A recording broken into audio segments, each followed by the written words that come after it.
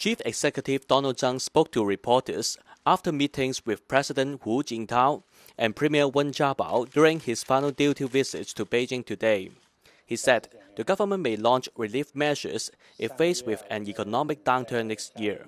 He briefed both leaders on the latest developments in Hong Kong, uncertainties in global economies, prompt concerns about Hong Kong's own economic situation in the coming year.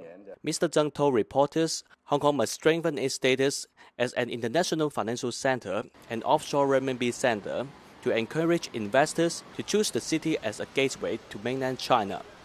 He said the government would aim to provide more details on the new home ownership scheme, cross boundary age allowance, and the transport subsidy scheme for seniors before his current term ends.